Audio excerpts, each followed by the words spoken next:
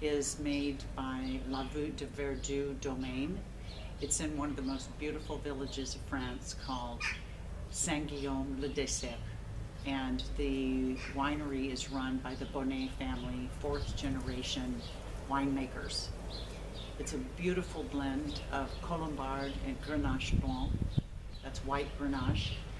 And um, it's got these beautiful aromas of lime, blossom, and other citrus, but it's got wonderful winemaking that makes the wine round and it feels really beautiful in your mouth.